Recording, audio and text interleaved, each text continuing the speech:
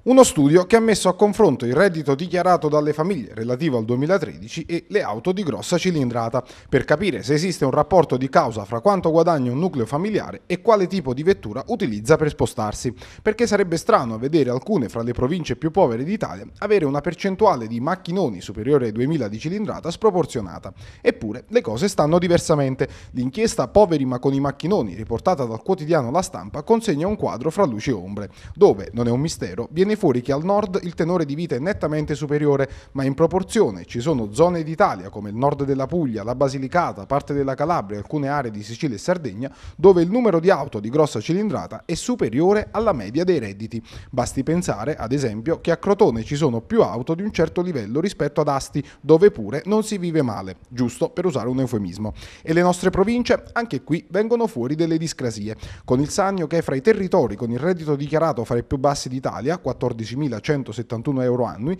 più basso dell'Irpinia che si attesta a 14.693 euro.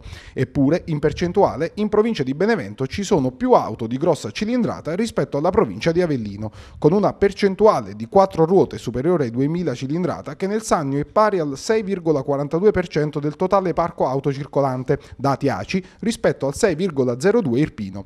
Incrociando i dati viene fuori una nuova cartina dell'Italia, nella quale emerge che ai Sanniti piace godersi fino in fondo il piacere di un'automobile potente, anche se magari il reddito dichiarato non è un granché. E allora tanto vale riprendere la considerazione fatta dal quotidiano torinese. Bolidi e berline di lusso sfrecciano anche in paesini depressi, dove le case cadono a pezzi e il tasso di disoccupazione è un'emergenza cronica. Passione per i motori? Testi di legno? Qualcosa non quadra.